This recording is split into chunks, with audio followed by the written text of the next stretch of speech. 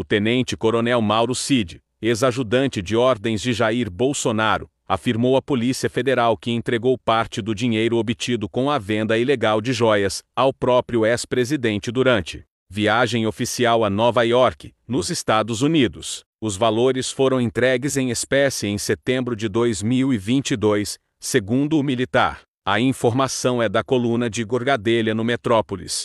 Cid relatou que o dinheiro foi dado a Bolsonaro durante a viagem em que o então presidente fez seu último discurso como mandatário na Assembleia Geral da ONU. Ele ainda contou que os relógios recebidos de presente foram vendidos por cerca de 68 mil dólares, cerca de 370 mil reais na cotação atual. O valor da venda do item foi depositado inicialmente na conta do pai dele, o general da reserva Mauro Lorena Cid, que comandava o escritório da Apex, em Miami, à época. Seu pai então teria sacado o dinheiro de forma parcelada, por conta do limite baixo para saques em caixas eletrônicos, e viajado para Nova York na ocasião para levar as notas a ele. Na cidade, Lorena encontrou o filho, que acompanhava Bolsonaro no evento da ONU, e repassou o valor a ele. A informação foi passada à Polícia Federal em depoimentos nos últimos meses e reforçada na oitiva desta segunda, 18,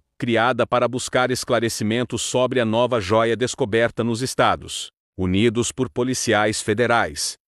Apesar dos pedidos desesperados de asilo político feitos por lideranças do bolsonarismo, como o deputado federal Eduardo Bolsonaro e o senador Hamilton Mourão, e do alinhamento do presidente argentino Javier Milei com a extrema-direita brasileira. O governo da Argentina atendeu ao pedido do Ministério das Relações Exteriores do governo Lula. Na noite desta quarta-feira, 19, a Argentina enviou uma lista com os nomes de brasileiros acusados de participação nos atos golpistas de 8 de janeiro de 2023 e que estão foragidos no país. A lista inclui cerca de 60 bolsonaristas que tinham prisão decretada, ou que descumpriram medidas cautelares e fugiram para a Argentina, sem passar pelos controles de fronteira. Segundo o governo argentino, dez desses golpistas já teriam deixado o país e fugido para outros territórios. Em resposta a um pedido da Polícia Federal, o governo brasileiro havia enviado à Argentina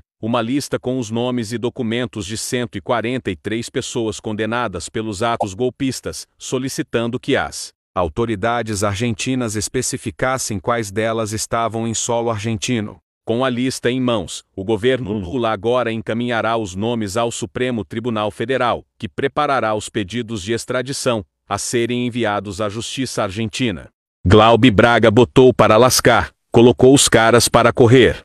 Se liguem na piaba braba. E o que disse o, o Eduardo? Tô com pena da cobra. Pena da cobra dizendo assim, pô, Coitada da cobra tem que ficar com ela junto. Mas ela saiu 48 horas depois da sala ou da cela. E os policiais ou quem cuidava riram. Riram por quê? Porque não tinha cobra. Entendeu? Riram por quê? Porque não tinha cobra. Jogada psicológica. Esse deputado que acabou de subir na tribuna, defendendo essa posição do deputado Eduardo Bolsonaro é ser da mesma laia dele. O senhor está assim defendendo tortura na ditadura.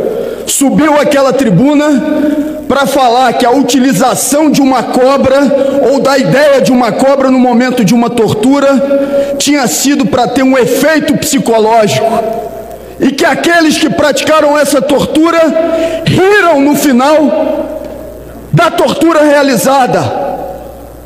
Só deveria ter vergonha. Como o deputado Eduardo Bolsonaro, esse não tem mais vergonha. Só vale a pena para esse rapaz um bom conselho de ética com a responsabilização pelos seus atos. Se bolsonarista está pensando que vai vir para esse plenário, subir a essa tribuna, para naturalizar a tortura, está muito enganado. Porque, deputado Nécio, o senhor é no mínimo, no mínimo, no mínimo, um daqueles bolsonaristas que merece a lata de lixo da história. Saiba, olha, deputado, olha, deputado, a minha boca eu não sujo falando o seu nome. E no dia que eu tiver medo de uma porcaria como você, eu não mais estarei exercendo o papel de deputado federal. Estou aqui nessa tribuna e vou descer daqui e vou estar ali naquele microfone. Não tenho medo do senhor, não tenho medo de Eduardo Bolsonaro, não tenho medo de miliciano, nem de defensor de miliciano e de torturador. É isso que vocês são. Eduardo Bolsonaro, o deputado Nécio, a família relacionada